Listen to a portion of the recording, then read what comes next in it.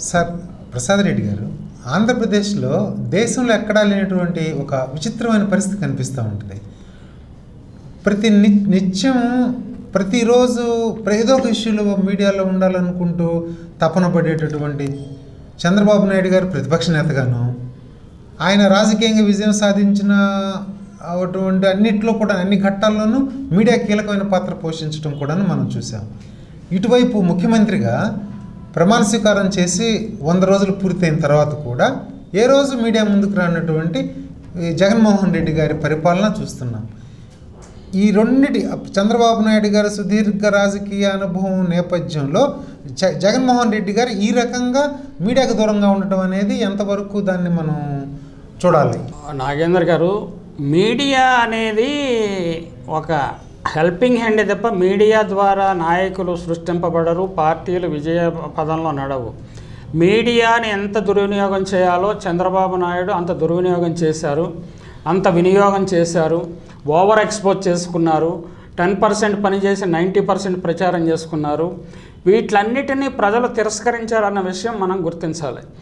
ప్రజలు ఎంత మీడియా? రెండు వేల నాలుగులో కానీ రెండు వేల తొమ్మిదిలో కానీ మీడియా సపోర్ట్ చంద్రబాబుకు లేకుండా లేదు.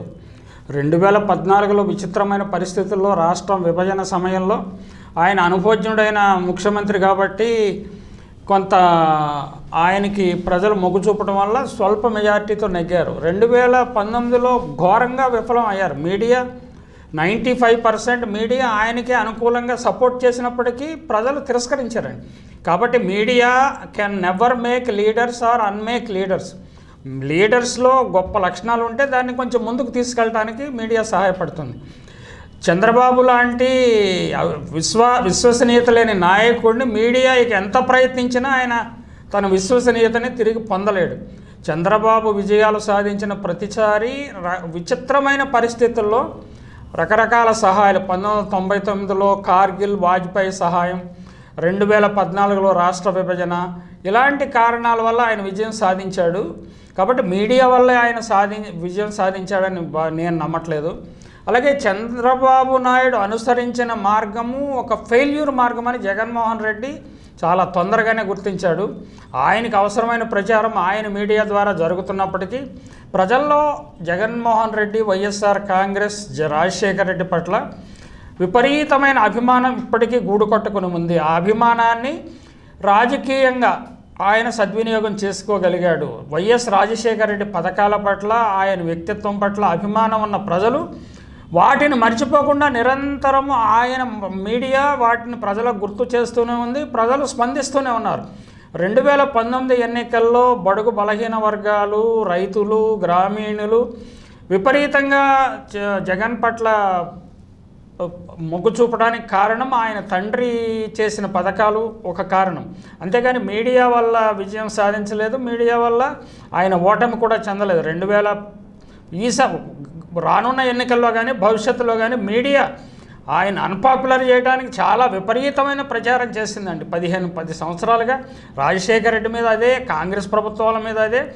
దురదృష్టవశాత్తు ఏంటి ఆంధ్రప్రదేశ్లో మొత్తం మీడియా కొన్ని సామాజిక ఒక్క సామాజిక వర్గం చేతిలోనే కేంద్రీకృతం కావటము ప్రతి దాన్ని వక్రీకరించటము లేకపోతే తుమ్మితే దగ్గితే కూడా విమర్శించటము చంద్రబాబు నాయుడు ఏం చేసినా అది చక్కని పని అని వర్ణించటము సపోర్ట్ చేయటము అదే పనిని వేరే వాడు రాజశేఖర రెడ్డి గారు కానీ జగన్మోహన్ రెడ్డి కానీ కాంగ్రెస్ పార్టీ కానీ చేస్తే అదే పనిని విమర్శించడం ఒక కళగా తీర్చిదిద్దిందండి. ప్ర అంటే గోబెల్స్ కూడా ఈ స్థాయిలో ప్రచారం చేసిన దాఖలాలు లేవు. ఇక్కడ ఇది ఒక విచిత్రమైన పరిస్థితి. అందుకనే జగన్మోహన్ రెడ్డి మీడియా కంటే ప్రజల్లో నేరుగా ప్రజలతో నేరుగా లింక్ అనుబంధం పెట్టుకోవడం అవసరమని చాలా తొందరగానే గుర్తించారు. ఈ విషయాన్ని పంతొమ్మిది రెండు వేల నాలుగులోనే రెండు వేల నాలుగు ముందే రాజశేఖర రెడ్డి గుర్తించడం వల్లనే తనకు మీడియా సపోర్ట్ లేదని ఆయనకు బాగా తెలుసు. అందువలనే ఆయన పాదయాత్ర ద్వారా ప్రజల హృదయాల్లోకి నడుచుకుంటూ వెళ్ళిపోయారు. ఆ స్పందన ఇప్పటికి కూడా కొనసాగుతుంది. అదే ఆయన కుటుంబ సభ్యులు షర్మిల చేశారు. అలాగే జగన్ చేశారు. ఓదార్పు యాత్ర కానీ ప్రజాయాత్ర కానీ ఇవన్నీ కూడా ఏంటంటే media ir irrespective of media Jaganmohan Reddy పాదయాత్రకి media పెద్ద సపోర్ట్ చేయలేదండి. ఇతర మీడియా అసలు ఏమి దానికి ప్రచారమే కల్పించలేదు. అయినా ప్రజలు లక్షలాది మంది ఎందుకు తరలి వచ్చారంటే ఆయన ప్రజలతో డైరెక్ట్గా లింక్ పెట్టుకోగలిగారు. ఇప్పుడు ఆయన ప్రభుత్వంలోకి వచ్చాక కూడా మీరు అడుగుతున్నది ఏంటంటే ఈయన ఎందుకు ప్రజలు దీంట్లోకి రావట్లేదు? ప్రస్తుతంలో మాట్లాడట్లేదు ఒక ఈవెంట్స్ క్రియేట్ చేయట్లేదు. అంటే అనవసరపు ప్రచారం వల్ల చెడు ఫలితాలు వస్తాయని ఆయన బాగా గుర్తించారు. మీకు మీరు అబ్జ అబ్జర్వ్ చేసే ఉంటారు. ప్రధాని నరేంద్ర మోడీ కూడా నేరుగా ఎవరు ఎప్పుడు ప్రెస్ వాళ్ళతో మాట్లాడటం చాలా తక్కువ అండి. అంటే ఇంటరాక్ట్ అవ్వడు ఆయన ప్రెస్ వాళ్ళతోటి. అది అవసరం లేదని ఆయన భావిస్తున్నాడు. తన మన్ కీ బాత్ అనే ఒక కార్యక్రమం పెట్టుకున్నారు. దాని ద్వారా తన అభిప్రాయాలు చెప్తున్నారు.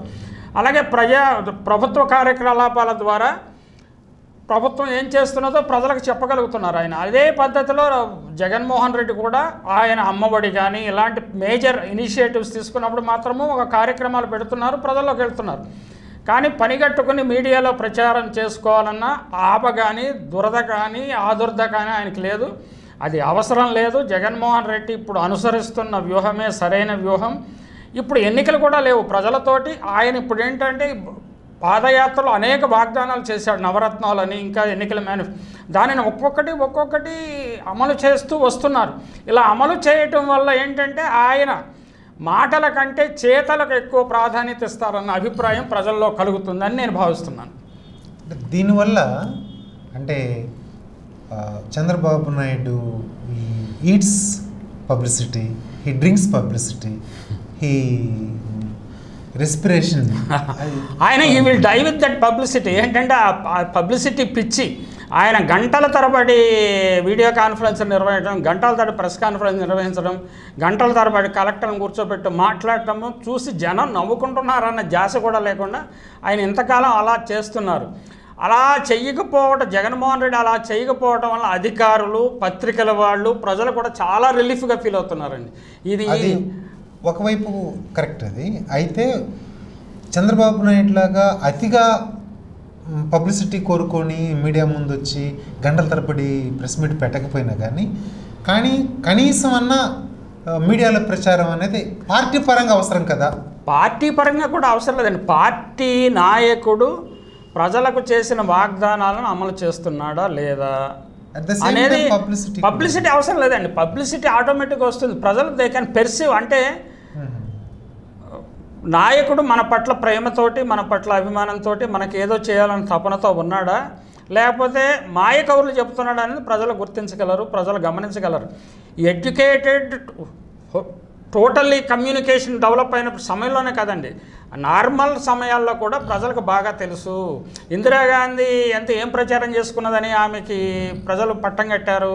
ఆమెకి ఆ ఇప్పుడు ప్రచార యంత్రాంగం లేనప్పుడు ఇంత కమ్యూనికేషన్ వ్యవస్థ విస్తరించినప్పుడు కూడా ఇందిరాగాంధీ పేదల ప్రజల పట్ల అనురక్తితో ఉన్నారన్న విషయం ప్రజలకు గుర్తించారు. జగన్మోహన్ రెడ్డి పట్ల కూడా అదే గుర్తించారు. ఎన్టీ రామారావుకు వ్యతిరేకంగా మీడియా ఉన్నప్పుడు కూడా ఎన్టీ రామారావు గెలుపొందుతూ వచ్చారండి. అంటే ఒక గొప్ప నాయకుడిని మీడియా ఏమీ చేయలేదు మీడియా క్రియేట్ చేయలేదు మీడియా డిస్ట్రాయ్ చేయలేదు. అంటే రామోజీరావు లాంటి వాళ్ళు అనుకోవచ్చు. నేనే చంద్రబాబు నాయుడు చంద్రబాబు నాయుడిని అధికారంలోకి తీసుకొచ్చా? నేనే ఎన్టీ రామారావుని అధికారంలోకి తీసుకొచ్చా? నేనే రాజశేఖర రెడ్డి అధికారంలో లేకుండా చేశా? ఇలాంటివి అనుకుంటారు చాలా వార్తాపత్రిక వాళ్ళు కూడా ఎన్టీ రాజశేఖర రెడ్డి నేనే తీసుకొచ్చా? అని అనుకోవచ్చండి. మరి ఆ ఈనాడు పేపరే ఎందుకని చంద్రబాబు నాయుడు ప్రతి ఎన్నికల్లో గెలిపించలేకపోతున్నది? ఒక ఎయిటీ నైంటీ పర్సెంట్ మీడియా ఒక సామాజిక వర్గం చేతిలో ఉండి చంద్రబాబుని మద్దతు ఇస్తున్నప్పుడు ఎందుకు ఆయన అధికారంలో తీసుకోలేకపోతున్నది? పది శాతం ఓట్లతో ఎందుకు ఆయన ఓడిపోయాడు? అంటే ఇది ఇవన్నీ ఏంటంటే media is a limited role but జనం ఏంటంటే మీడియా మీడియా మీడియా అని అనుకుంటారండి గురుగారు, చెప్పండి. గెలుపు ఓటముల వరకు నిర్దేశించలేకపోవచ్చు లేదా సాధించలేకపోవచ్చు కానీ తప్పుని ఒప్పుగాను ఒప్పుని తప్పుగాను చూపించడంలో సక్సెస్ అయిందని మనం అనుకుంటున్నాం నేను నమ్మట్లేదండి. ఎందుకంటే ఇప్పుడు ప్రభుత్వము గ్రామ సెక్రటేరియట్లను ఏర్పాటు చేసింది ప్రభుత్వము గ్రామీణ వాలంటీర్లను ఏర్పాటు చేసింది.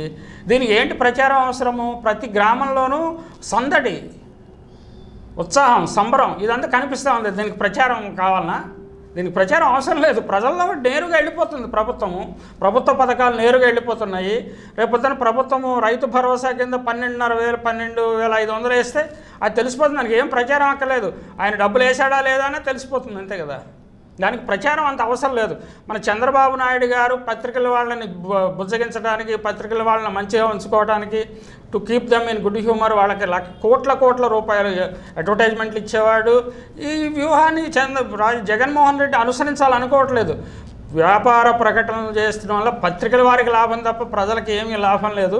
వ్యాపార ప్రకటనల ద్వారా సమాచారం నేర్చుకునే పరిస్థితి లేదండి. ఇప్పుడు ఏంటంటే కేవలం ప్రజలకి అనేక రూపాల్లో సమాచారం అందుతుంది. సోషల్ మీడియా టెలివిజన్ వార్తలను వక్రీకరించే విషయాన్ని కూడా ప్రజలు అర్థం చేసుకుంటున్నారు. ప్రజలు నైవ్గా అంటే అమాయకంగా ఉన్నంత కాలము ఈ వీళ్ళ గేమ్ అంతా నడిచిపోయిందండి. Media game నడిచిపోయింది.